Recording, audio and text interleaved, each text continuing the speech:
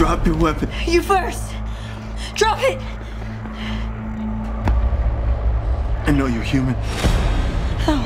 Because if you were one of them, you would have shot me already.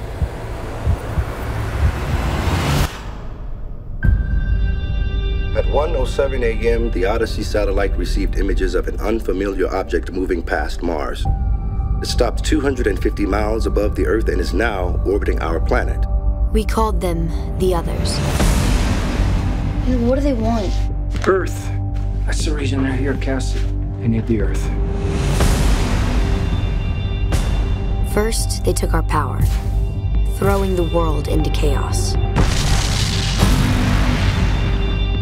Then they took our cities, laying everything to waste.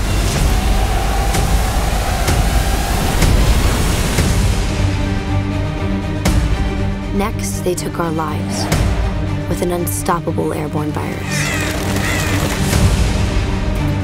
Worst of all, they took control. The others were already among us, exterminating anyone who survived. The others are readying themselves for the fifth wave.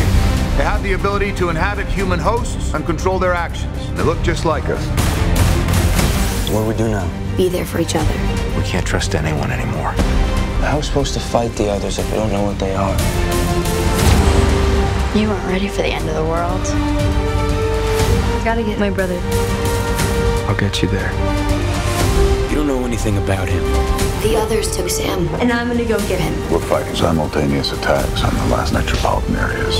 If the fifth wave succeeds, humanity will be wiped from the face of the earth.